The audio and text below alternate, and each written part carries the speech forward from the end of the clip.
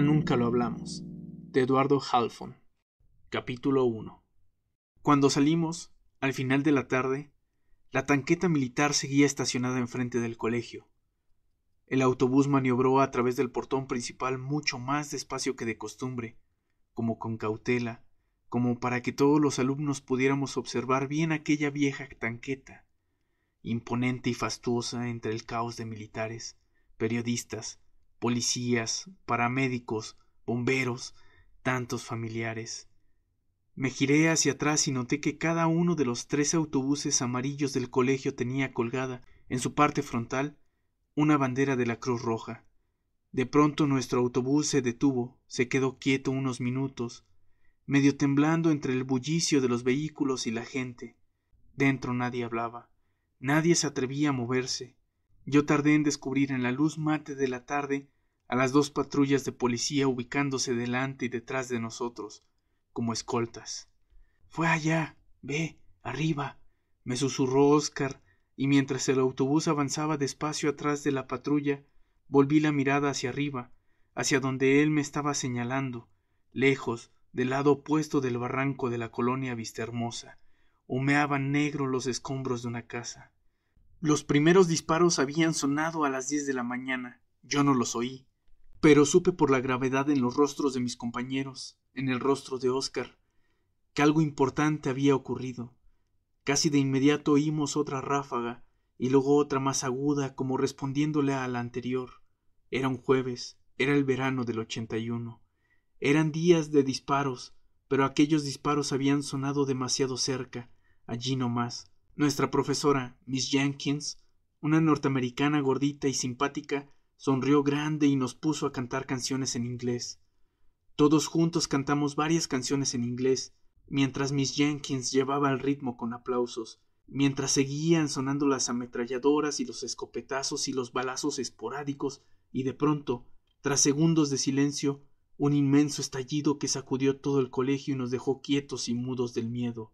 Miss Jenkins ya no sonreía tan grande, salió del aula, al pasillo exterior, donde se congregaron los profesores y directores del colegio y decidieron llevarnos a todos al gimnasio. Mira esas, me musitó Oscar en el autobús, viendo las largas ametralladoras calibre 50, montadas sobre dos jeeps militares y aún apuntando directo hacia los escombros de la casa. No era un gimnasio realmente, sino un enorme hangar o cobertizo de láminas y duela de madera que también hacía de cancha de básquetbol y allí, con el constante eco de disparos y bombas y sirenas siempre en el fondo, con el murmullo de helicópteros volando encima, los más de mil alumnos del colegio pasamos el día entero, aislados durante casi siete horas, recluidos de aquel combate que parecía no terminar nunca justo enfrente del colegio.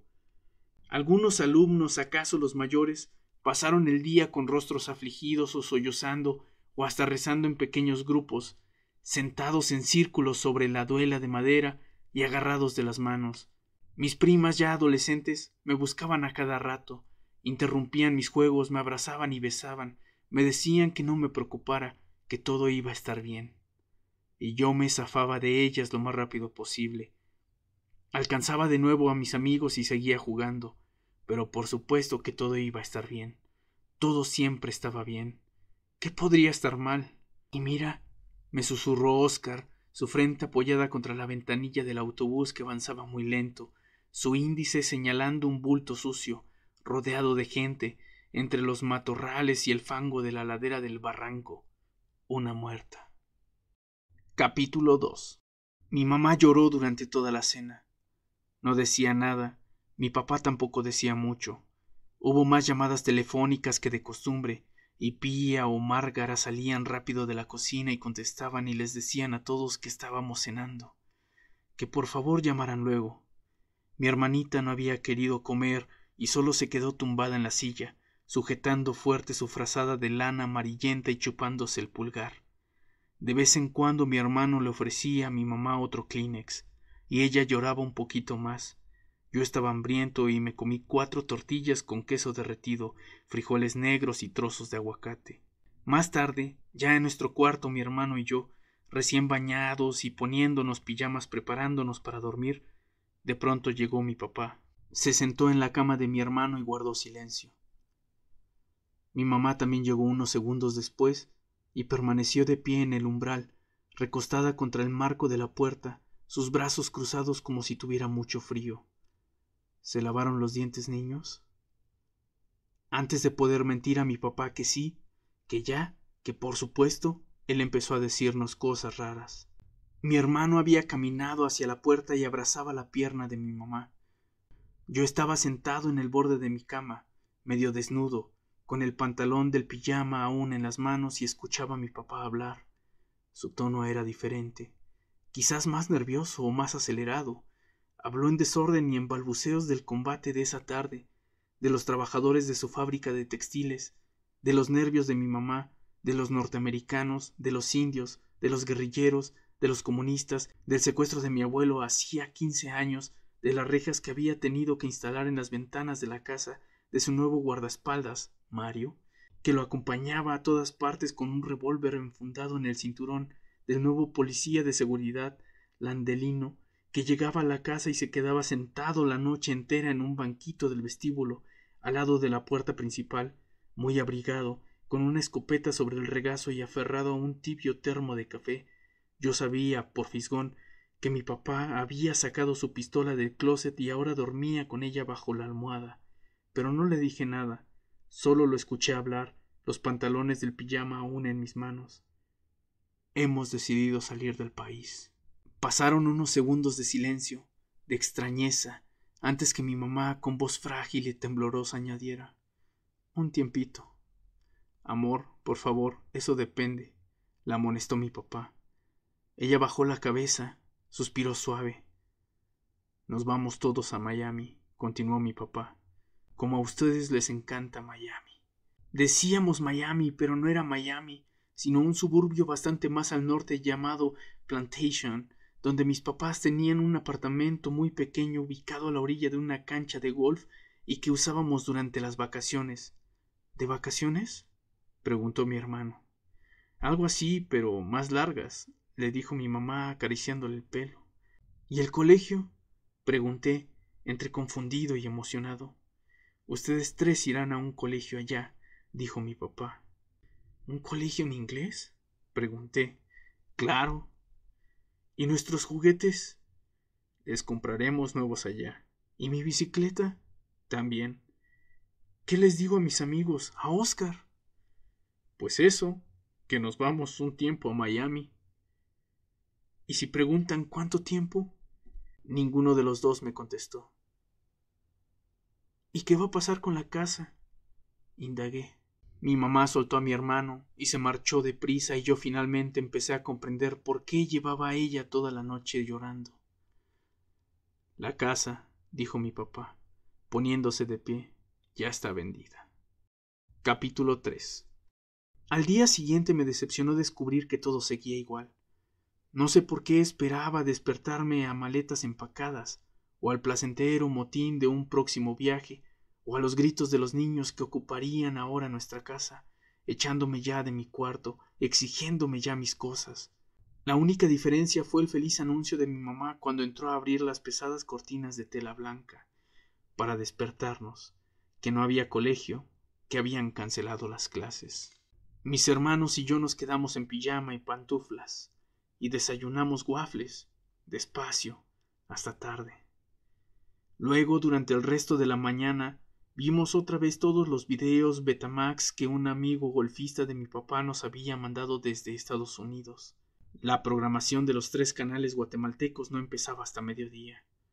Eran caricaturas en inglés y programas infantiles en inglés que cada sábado él nos grababa de la televisión matutina norteamericana.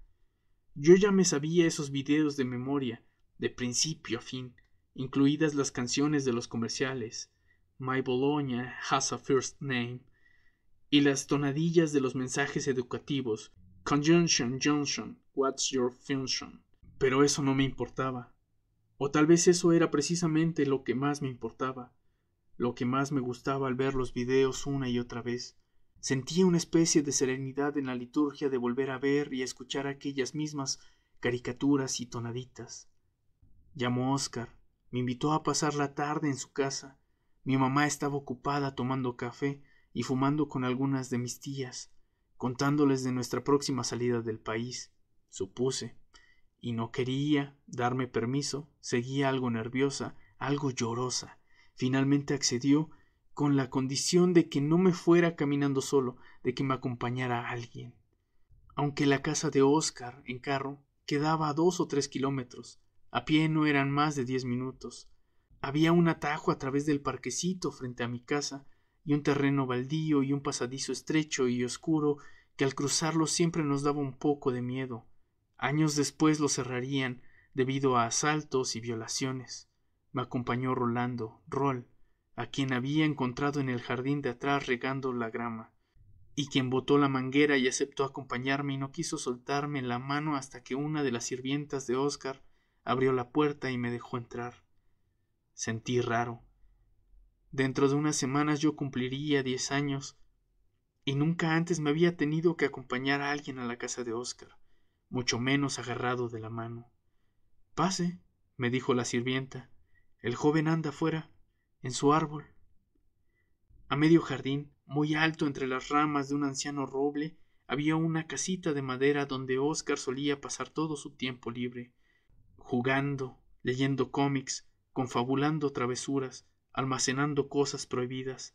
Para subir había unos palos largos clavados al tronco del árbol, tipo escalera. Lo saqué de la basura. Oscar estaba sentado sobre sus rodillas, inclinado por encima de un periódico abierto, arrugado, lleno de manchitas de grasa. Mis papás me prohibieron leerlo, dijo, pero ya lo saqué de la basura. Eran dos páginas enteras de fotos grises y opacas y de varios tamaños que narraban el combate del día anterior. Decía el titular hasta arriba, en grandes letras negras, cuartel guerrillero destruido en Vista Hermosa. En una foto salía el rostro en perfil de un bombero, mientras escarbaba entre los residuos de concreto y hierro torcido. En el periódico decía la casa destruida fue calificada por las autoridades como cuartel general subversivo de los guerrilleros, en el combate más nutrido y de más duración registrado hasta ahora en la capital de la República. En otra foto había varias camillas con lo que parecían cadáveres. Tras la artillería de una tanqueta murieron aplastados catorce guerrilleros, once hombres y tres mujeres. Al centro de otra foto, entre ripio y escombros, había un bulto largo, tapado con una manta. En lo que quedaba de la sala se halló el cuerpo sin vida de uno de los guerrilleros, una guitarra chamuscada que aún conservaba sus cuerdas y la pantalla de un televisor en una esquina que se confundía con los restos de un esmeril. Pegado a esta había otra foto, como de pasaporte o cédula, de un hombre muy moreno y de facciones indígenas. Según informaron las autoridades, este guerrillero fue identificado como Roberto Batz Chocog, albañil de Patsun, Chimaltenango. Hasta abajo de la página había una foto de un grupo de militares, todos serios, todos con ametralladoras o escopetas. Al entrar los elementos del orden público a la casa encontraron gran cantidad de armas diversas, minas Claymore, granadas rusas de fragmentación, fusiles M16, subametralladoras y material explosivo dedicado a la fabricación de bombas caseras. Me quedé mirando los rostros de los militares, tan morenos y tan indígenas como el rostro del guerrillero de la guitarra y el televisor. No entendí. ¿Los militares también eran indígenas? ¿No era todo indígena un guerrillero? ¿Quién era entonces un guerrillero? ¿Viste? Te lo dije, susurró Oscar, su índice sobre otra foto. Era la imagen del barranco frente al colegio, lleno de policías y bomberos entre los matorrales. En la cuesta que da al estacionamiento del colegio quedó el cadáver de una guerrillera, baleada al tratar de romper el cerco del ejército. Un zanate, dijo Oscar mientras escuchábamos los brinquitos en el techo de madera. Nos vamos a Miami, le dije, aún intentando descifrar las facciones borrosas de la guerrillera muerta. ¿Cuándo? Creo que ya. Pero si ahora no hay vacaciones. No. A vivir. Oscar alzó la mirada. ¿A vivir? me preguntó. Por un tiempo. ¿Cuánto tiempo? No sé. ¿Mucho? No sé. ¿Para siempre? Su voz floja. Como seis meses. Ni idea de dónde saqué esa cifra. Me la inventé probablemente Sospeché o presentí que ya no volvería a ver a Oscar y que lo mejor sería dosificarle la noticia. Mentirle un poco, ocultarle algunos detalles, como por ejemplo que ya no tendríamos una casa donde volver. Y pareció funcionar, porque de inmediato se le suavizó el rostro, volvió a bajar la mirada hacia la foto de la guerrillera muerta y preguntó ¿Me regalás tu bici entonces? Capítulo 4 Mis abuelos maternos estaban sentados en dos taburetes frente al bar. Mi abuelo tomaba whisky, mi papá también tomaba whisky sentado en su propio taburete del otro lado del bar, tipo cantinero, y discutía algo con mi abuelo, cada vez más agresivo y recio. Mi mamá no tomaba whisky. Ella solo fumaba y me decía que mis abuelos habían llegado para verme. Mis hermanos no estaban bien. Mis abuelos habían llegado para poder despedirse de mí y que entonces me quedara acompañándolos. Yo estaba echado sobre la alfombra, aburrido. Ya tenía suficientes años para saber que mi mamá no siempre decía la verdad. Pero igual le obedecí, y me quedé oyéndolos hablar cosas de adultos. De vez en cuando mi papá se volteaba para alcanzar una botella o una servilleta, o acaso un cenicero limpio, y entonces mi abuelo polaco bajaba un poco su vaso, me susurraba algo en yiddish, me dejaba meter el índice en el hielo y chupar así gotitas de whisky. ¿Quién aquí quiere salir a dar una vuelta? Mi abuela se había puesto de pie, me estaba sonriendo. ¿Quién aquí quiere un helado? preguntó. Yo levanté la mano. Vamos, pues, dijo, agarrando su bolsón y las llaves del carro. ¿En serio? Viendo a mi mamá. ¿Puedo? Pero solo uno, ¿me oyó? dijo mi mamá sabiendo mi afición por el helado de mandarina. Entendí que querían sacarme de allí un rato, que mi papá y mi abuelo se estaban peleando por algo, que querían hablar cosas de adultos entre ellos. Me levanté de un brinco y seguí a mi abuela hacia la puerta principal, hacia afuera, hacia su viejo Mercedes color cielo. ¿Ya listo para Miami, mi vida? Ajá. Mi abuela manejaba como abuela. ¿Y sintió miedo con las balas en el colegio? me preguntó. No. ¿Nada de miedo? Algo, no mucho. Pero qué valiente, mi nieto. Sonreí con timidez. Está bien que se vaya en mi vida, dijo medio melancólica. Demasiadas balas en este país. No dijo más y yo me quedé pensando en el agujero que aún permanecía en la ventana del comedor de mis abuelos. Un agujero circular y pequeño hecho por un balazo que disparó el vecino. Decían, un señor ya mayor y algo borracho, decían que odiaba a los judíos. Los helados Gloria quedaban cerca, en la esquina de la avenida Reforma y un callejón sin salida, la misma esquina donde quince años atrás un grupo de guerrilleros disfrazados de policías en un impala pintado de carro de policía había secuestrado a mi otro abuelo, a mi abuelo paterno, a mi abuelo libanés, y llegamos en pocos minutos. Me bajé rápido, casi corriendo, mientras mi abuela estacionaba con dificultad y la esperé dentro, frente a la larga nevera. Me gustaba sentir el frío del vidrio en las manos, me gustaba ver los colores pastel de las nieves en todas las cubetas. Era fin de semana, pero no había casi nadie. El burrito gris comía pasto, su carruaje a un lado, vacío. Una niña rubia brincaba miedosa sobre una de las camas elásticas. Entre carcajadas dos niños chocaban sus carritos locos. Atrás de mí, cerca del carrusel, un niño descalzo y sin camisa, de más o menos mi edad, barría el piso con una escoba de petate. Por fin entró mi abuela y se nos acercó una señorita indígena, chaparra, algo morena, uniformada de blanco y rosado, y me preguntó con amabilidad qué deseaba. Le pedí una bola de mandarina en cono. La señorita sacó un cucharón que mantenía en un bote de agua turbia y formó una bola perfecta y anaranjada que luego colocó sobre un cono de galleta. Cuando me lo pasó, por encima de la nevera, noté que sus dedos gorditos y morenos estaban metidos en mi helado. Sentí tristeza. Pensé en no recibírselo, en no comérmelo, en pedirle que me sirviera otro, uno nuevo, uno limpio, pero era helado de mandarina y entonces hice un esfuerzo por olvidar la imagen de sus dedos untados. Mi abuela pagó le regaló unas cuantas monedas al niño de la escoba de petate y nos marchamos. ¿Está rico? me dijo encendiendo el ruidoso motor del Mercedes. Le balbuceé que sí, que gracias, mientras daba lamidas. Dígame algo, corazón. Viendo ella hacia adelante muy concentrada. ¿Quién es su favorito? ¿Ah? ¿Su papá o su mamá? Me puse nervioso. Dígame, así entre nosotros, en secreto. No sé, y seguí dándole breves lengüetazos a mi bola de mandarina. ¿Quién de los dos es su favorito? Volvió a preguntarme, detenidos en el semáforo del obelisco. Igual, dije por decir algo. No puede ser igual, mi vida. Sí puede. El semáforo cambió a verde y mi abuela aceleró demasiado rápido y yo casi metí la nariz en el helado. Todo niño tiene un favorito, aseguró con un frenazo.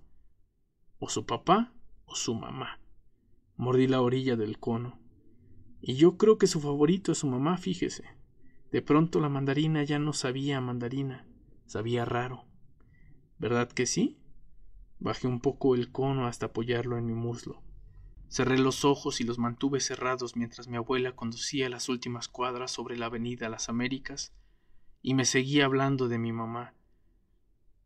Nunca supe qué fue, si el helado de mandarina o los dedos untados de la señorita uniformada o las preguntas ingenuas de mi abuela o las repentinas aceleradas y los duros frenazos en aquel viejo y hermoso Mercedes o quizás todas las gotitas de whisky que me tomé del vaso de mi abuelo. Pero al no más detenernos frente a mi casa, empujé la pesada puerta del Mercedes y me arrodillé sobre la grama y vomité mandarina. Capítulo 5 como por arte de magia, mi casa empezó a desaparecer. El lunes, al volver del colegio, Miss Jenkins había organizado en mi honor una especie de fiesta improvisada, vergonzosa, con pastel de chocolate y horchata y canciones de despedida en inglés. Descubrí una decena de cajas de cartón en vez de adornos y fotos. Descubrí unos enormes rectángulos pálidos en las paredes de la sala, en vez de los óleos azules y verdes y muy extraños del pintor Efraín Recinos descubrí en vez de la mesa y las sillas del comedor una alfombra totalmente libre que jamás había visto y que resultó perfecta para jugar canicas. Descubrí repisas y gavetas forradas de papel tapiz en vez de toda mi ropa. Descubrí una fila de maletas abiertas, ya casi llenas, en vez del largo pasillo hacia el dormitorio de mis papás.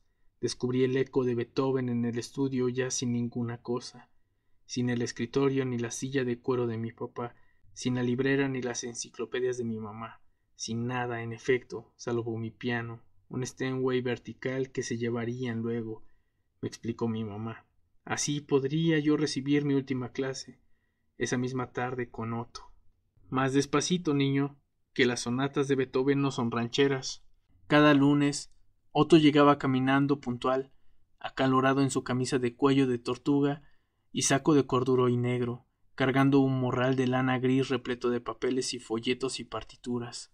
Al no más sentarnos, yo en la banca, él en una silla de madera a mi lado, se asomaba pía con una pequeña bandeja y en silencio sin molestarnos, la dejaba sobre la parte superior del piano. Siempre le llevaba lo mismo, una limonada que Otto se bebía enseguida, como muerto de sed tras su caminata, un tazón grande y caliente de café con leche, y un platito con dos champurradas que Otto iba mojando en el café y comiéndose enteritas mientras me regañaba y corregía.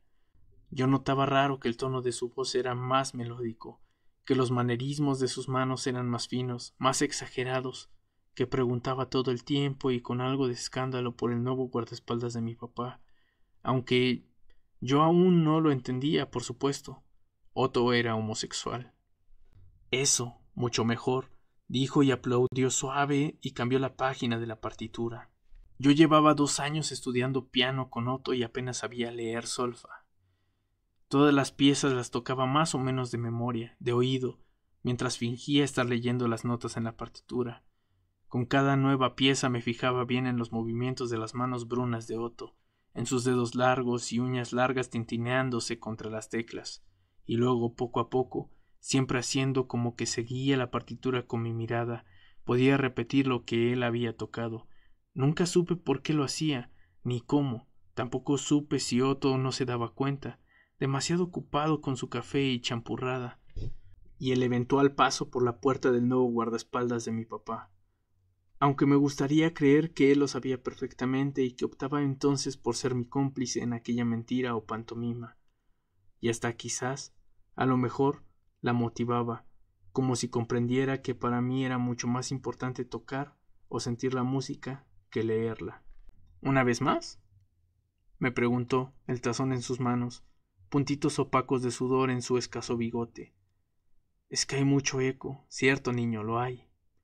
Otto se quedó mirando el piso de granito ya desnudo, las paredes ya sin nada. Me contó tu mami que se van del país. Ajá, a Miami. ¿Y estás contento de irte? No sé. ¿Puedes seguir estudiando piano allá? No sé. Hubo un silencio y yo, con disimulo, mientras Otto se sacudía del regazo unas migas de champurrada, observé su semblante tostado y lampiño, sus pequeños ojos negros, su pelo azabache grasoso erizado. Se me ocurrió que su rostro se parecía al rostro del guerrillero de la guitarra y el televisor, y que también se parecía a los rostros de los soldados, y después se me ocurrió que su rostro de alguna manera se parecía a cualquier rostro, a todos los rostros, a mi rostro. Sentí cosquillas en el vientre, como si en ese pensamiento hubiese algo básico o algo esencial. Luego otra vez me sentí confundido. Otto me sonrió. Nos vamos para siempre, le balbuceé. No me digas. Es que ya no tenemos casa. ¿Cómo que ya no tienen casa? Le dije que no con la cabeza, mientras presionaba los pedales con los pies. Pues entonces, niño, dijo, esta es nuestra despedida. Otto se tomó el último sorbo de su café con leche, se limpió los labios con una servilleta de papel, se inclinó hacia adelante y colocó la servilleta y el tazón vacío sobre la pequeña bandeja, encima del piano, se puso de pie, se puso muy serio, mirándome, estiró su mano terrosa y larga y la dejó en el aire y yo tardé un poco en comprender que quería que yo también me pusiera de pie y estirara la mía, que quería despedirse de mí, no como profesor y alumno, no como adulto y niño, no como indígena y blanco, sino como lo harían dos hombres. ¿Terminamos, Otto? Terminamos, niño, dijo guardando las viejas partituras en su morral. Capítulo 6 Me desperté gritando. Estaba un poco sudado y aún sentía el pánico en el pecho, la bola de llanto a media garganta. Recordaba bien el sueño, incluso hoy lo recuerdo con claridad. Soñé que llegaba a nuestra casa el guerrillero de la guitarra chamuscada y el televisor. Saludaba al policía de seguridad en el vestíbulo, quien solo seguía tomando sorbitos de café de su termo.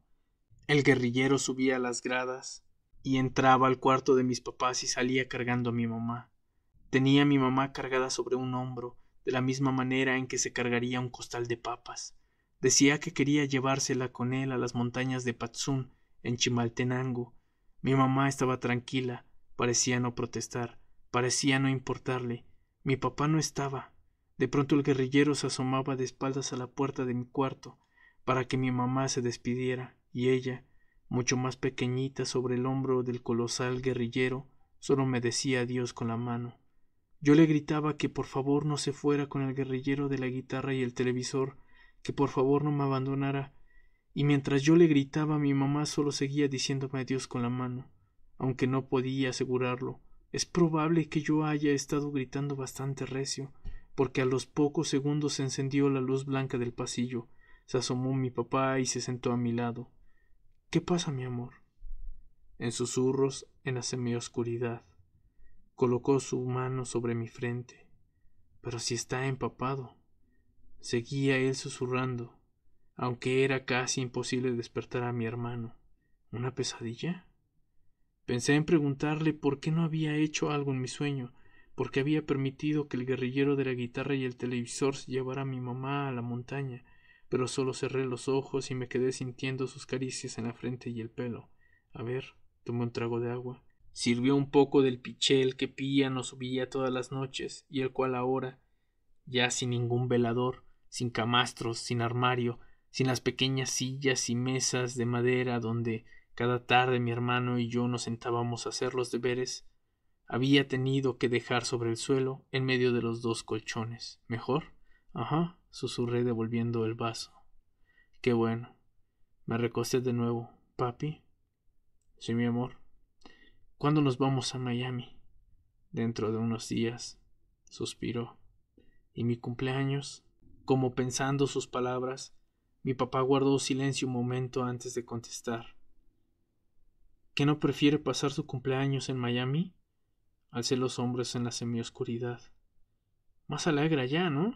Afuera, en la calle chirriaron los frenos de un carro al estacionarse. El motor permaneció encendido, ronroneando en la quietud de la noche. Mi papá, con algún esfuerzo, se puso de pie, caminó hacia la ventana. Oí el breve frufru de la cortina de la tela abriéndose un poco. Papi, ¿sí? ¿Dónde vamos a vivir cuando regresemos? Quizás no me oyó, o quizás no sabía la respuesta, o quizás nunca regresaríamos. Papi, mm. ¿Qué es un guerrillero? De nuevo oí la tela de la cortina. Mi papá volvió a sentarse a mi lado. ¿Un guerrillero? Ajá. Pues los guerrilleros son los culpables de todo este lío. ¿Qué lío? Todo este lío, susurró firme, el lío frente a su colegio, en la fábrica, en las calles, en todo el maldito país. ¿Los guerrilleros son indios? Silencio. Se había apagado el motor. De repente se somató una puerta de carro, luego otra. En sordina unas voces se hablaban. Claro, me dijo, su mirada hacia la ventana. Pero. ¿También los soldados son indios? Mi papá suspiró, pareció enojarse en la semioscuridad. Ay, amor. Estas no son horas para hablar de eso. Susurró demasiado recio y mi hermano gimió algo y se movió un poco entre las sábanas de su cama. ¿Ya vio? Vamos a despertar a su hermano. Mejor duérmase y lo hablamos mañana. Mi papá me dio dos palmadas suaves en la rodilla. Se levantó. Salió del cuarto y apagó la luz blanca del pasillo. Todo se volvió a quedar negro, inmóvil. Pronto llegó mañana y mañana nunca lo hablamos.